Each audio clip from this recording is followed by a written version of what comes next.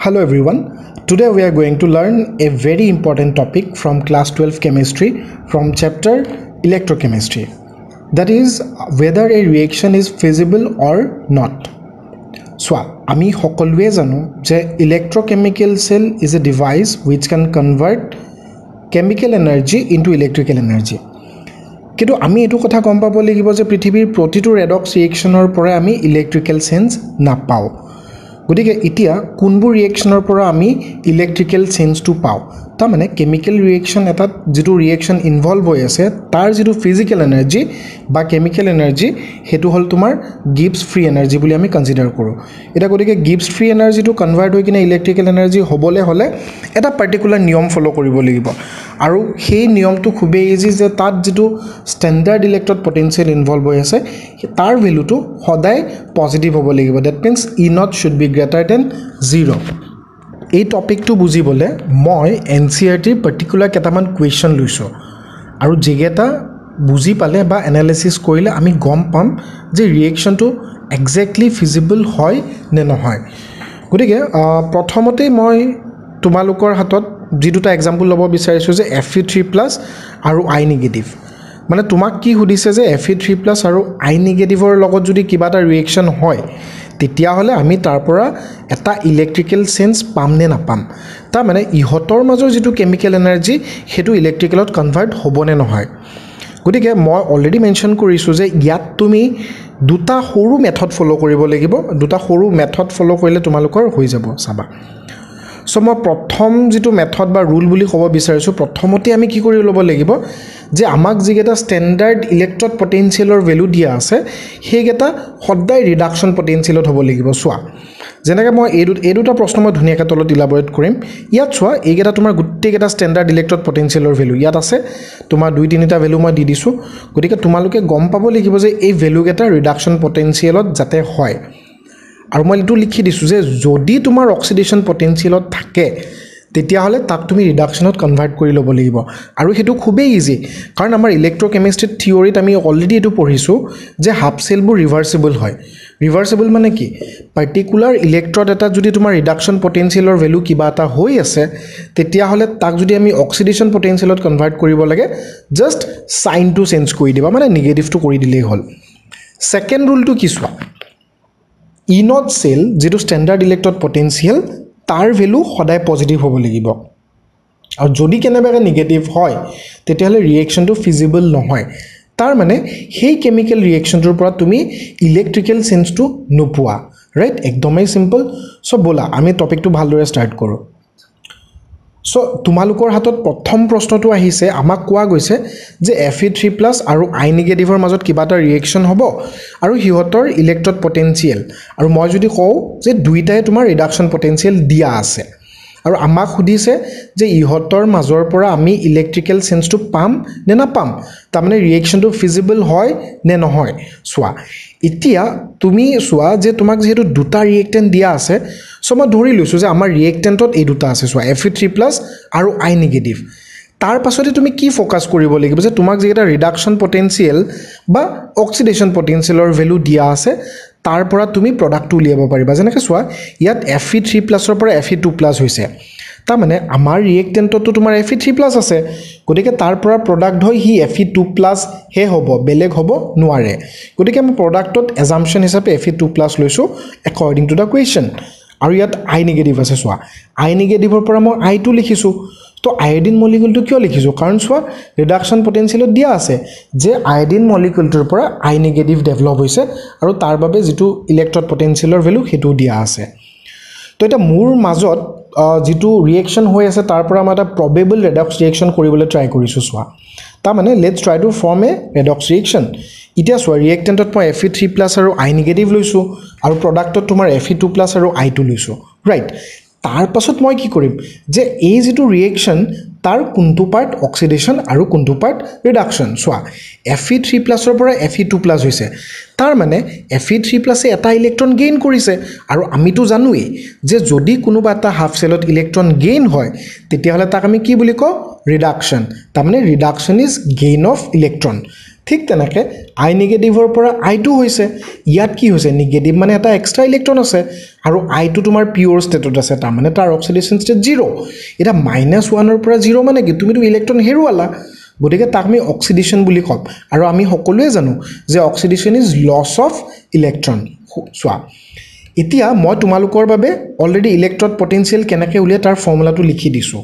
আৰু মই তোমালোকক এইটো ৰিকুৱেষ্ট কৰোঁ যে এই ইনট চেল বা ইলেক্ট্ৰড পটেঞ্চিয়েলৰ ভেলুটো যেতিয়া উলিয়াবা সদায় চাবা যে ইনট চেলটো তোমাৰ ৰিডাকশ্যন পটেঞ্চিয়েলত দিয়া থাকে। আৰু যদি অক্সিজেনত দিয়া থাকে তেতিয়াহ'লে তুমি অক্সিডেশ্যনটো ৰিডাকশ্যন আনিব লাগিব।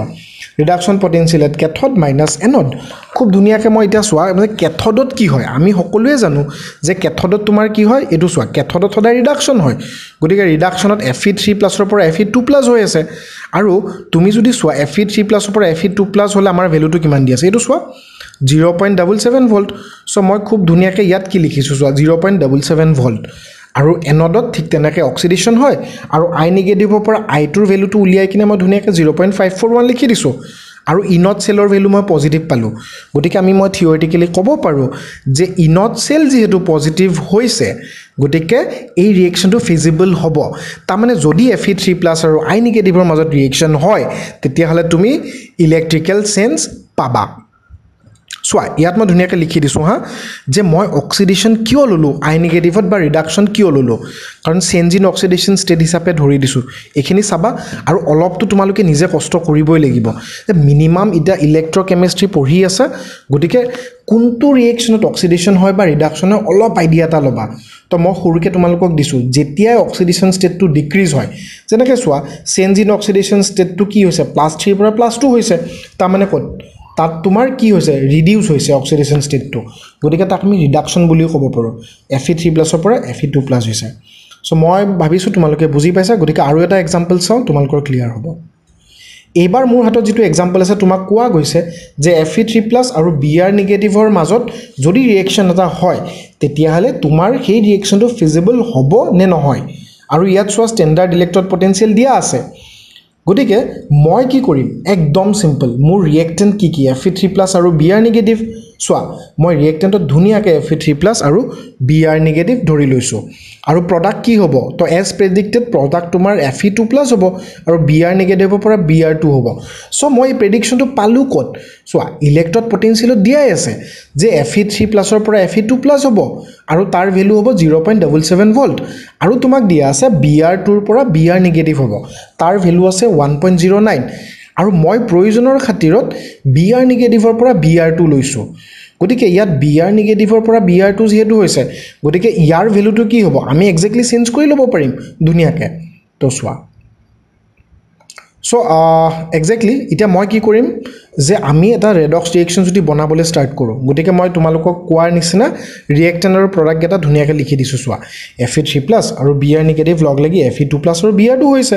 আৰু তাৰ পৰা মই ধুনীয়াকৈ কৈছোঁ যে এফ ই থ্ৰী প্লাছৰ পৰা এফ ই টু প্লাছ য'ত হৈছে এফ ই থ্ৰী প্লাছ আয়নটোৱে এটা ইলেক্ট্ৰন গেইন কৰিছে। সেইবাবে ৰিডাকশ্যন বা তুমি এনেকৈ ক'ব পাৰা যে ইয়াৰ অক্সিডেশ্যন ষ্টেট প্লাছ থ্ৰী আছিলে ইয়াৰ প্লাছ টু চ' অক্সিডেশ্যন ষ্টেটটো যেতিয়া ডিক্ৰিজ হয় বা ৰিডিউচ হয় তাকো আমি ৰিডাকশ্যন বুলি ক'ব পাৰোঁ।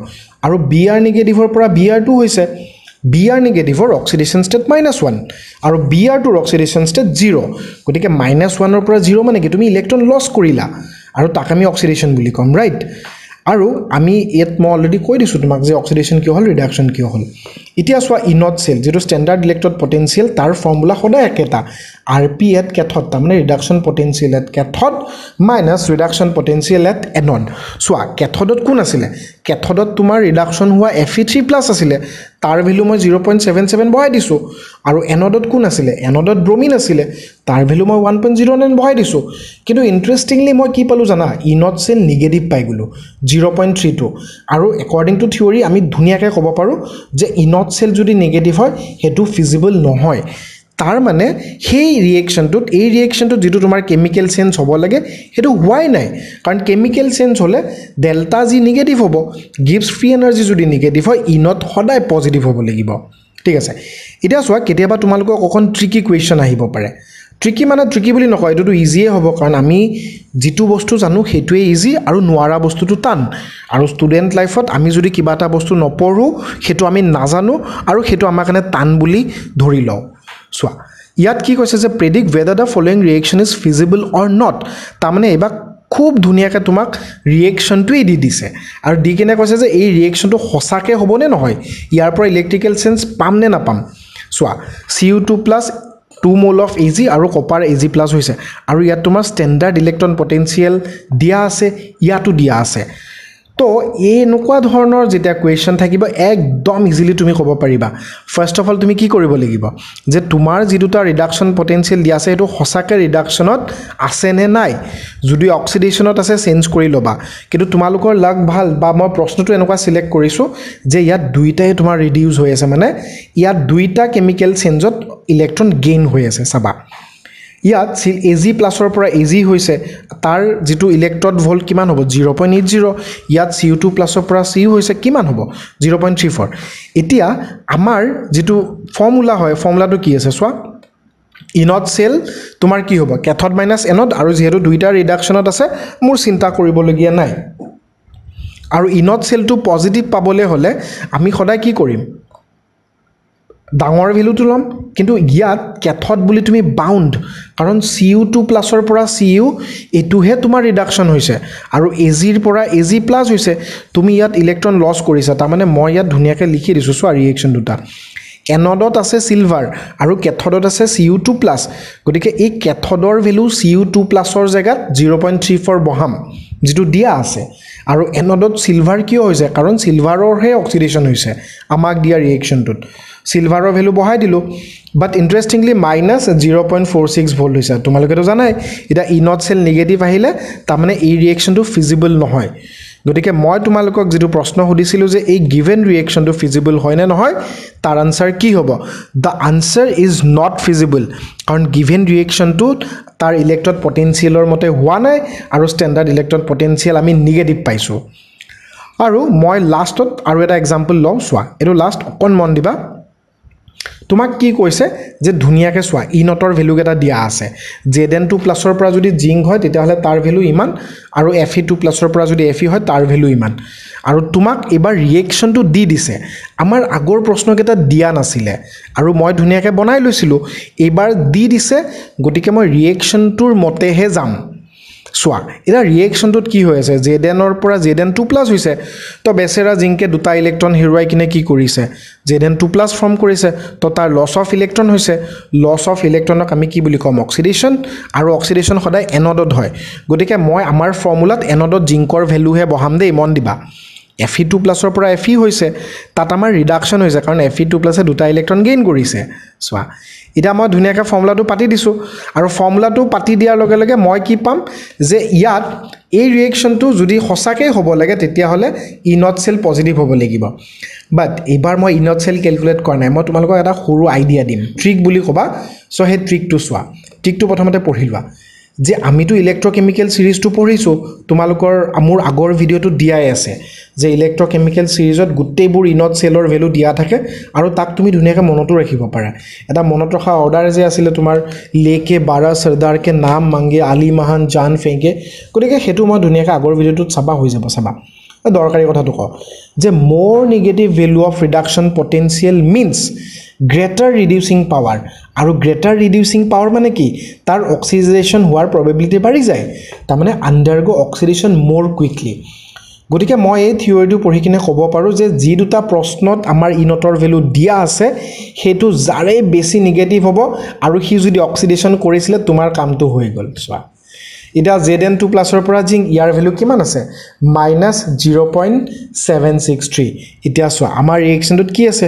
জিংকৰ পৰা জেড এন টু প্লাছ হৈছে সেইটো অক্সিডেশ্যন আৰু অক্সিডেশ্যনৰ ভেলুটো আটাইতকৈ নিগেটিভ আছে। গতিকে এই ৰিয়েকশ্যনটো ফিজিবল হয়। আৰু চোৱা তোমালোকৰ যদি গোটেই টপিকখিনি বুজি পালা তেতিয়াহ'লে খুব ধুনীয়াকৈ এন চি আৰ টিৰ এই প্ৰশ্নটো কৰিবা। থ্ৰী পইণ্ট ওৱান ছেভেন এক্সাৰচাইজটো মই উঠাইছোঁ এন চি আৰ টিৰ পৰা। আৰু ইয়াত তোমাক চাৰিটা প্ৰশ্ন দিয়া আছে আৰু সিহঁতৰ ভেলুবোৰ দিয়া আছে। আৰু লাকিলি মই ইয়াৰ দুটা প্ৰশ্ন অলৰেডি তোমালোকক ছল্ভ কৰি দিলোঁ। গতিকে বাকীখিনি ধুনীয়াকৈ চাবা আৰু মোৰ বিশ্বাস তোমালোকে বুজি পাবা ধুনীয়াকৈ। আৰু এটাই কথা লাষ্টত কওঁ শুনা। ছায়েন্স যিহেতু লৈছা হায়াৰ ছেকেণ্ডেৰী ছেকেণ্ড ইয়াৰ ফাইনেল তাতে যোৱা তোমালোকৰ এঘাৰ বছৰৰ কষ্ট এফাল আৰু এই বছৰৰ কষ্ট এফাল। তাতে তোমালোকৰ লকডাউন চলি আছে গতিকে পৰীক্ষাত নম্বৰ পোৱাৰ প্ৰবেবিলিটি অকণ কম আছে। কাৰণ টিচিং মেথডটো কমপ্লিট চেঞ্জ হৈ গৈছে অনলাইন আৰু অফলাইন আমাৰ আগত এক্সিষ্টিং অফলাইন আছিলে কনভেনশ্যনেল আৰু এতিয়া অফলাইন বা ডিজিটেল ক্লাছৰুমবোৰ হৈছে। মই তোমালোকক কওঁ শুনা যে আমি কিবা এটা বস্তু যদি জানো বা বুজি পাওঁ সেইটোক ইজি বুলি কয় আৰু যদি বুজি নাপাওঁ বা টান হয় তাক টান বুলি কয়। বুজি কেতিয়া নাপায়? যদি তুমি নপঢ়া যদি তুমি কষ্ট নকৰা যদি তুমি ছেক্ৰিফাইচ নকৰা। চোৱা তোমালোকৰ বাবে মই এই ভিডিঅ'টো ৰাতি তিনিটা বজাত বনাই আছোঁ। কিহৰ বাবে? তোমালোকৰ হেল্পৰ বাবে ময়ো কষ্ট কৰি আছোঁ। গতিকে মোৰ লগে লগে তোমালোকে কষ্ট কৰা পাৰিবা আৰু কিবা নোৱাৰা থাকিলে ধুনীয়াকৈ মোক মেছেজত দিবা কমেণ্ট ছেকশ্যনত দিবা। Thank you so' much thank you